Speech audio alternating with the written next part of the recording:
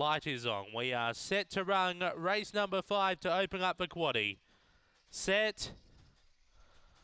Away, now there's speed off the inside from Lipinski Pie, pressurised now by Temerity Spirit. A length away then Scout Coaster with Cold Pursuit, 90 Mile Kobe, Mountain Snake, Galena Lad, North or South. Off the back, Temerity Spirit on top, looming up 90 Mile Kobe. A gap then to Scout Coaster winding home, 90 Mile Kobe though. 90 Mile Kobe makes it two in a row. Second was either Temerity Spirit or Scout Coaster. Then we go back to Cold Pursuit Galena Lad with North or South Mountain Snake. One of the last ones in with Lipinski Pie 23.19 that time. 5432 5432 90 mile Kobe. Gets up here for Colin Swain.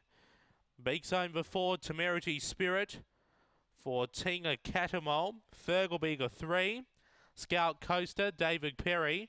And fourth for two, Cold Pursuit, Mike Whitoltz. 23.19. Run home in 14.34. 5.432 after race five here at Gawler.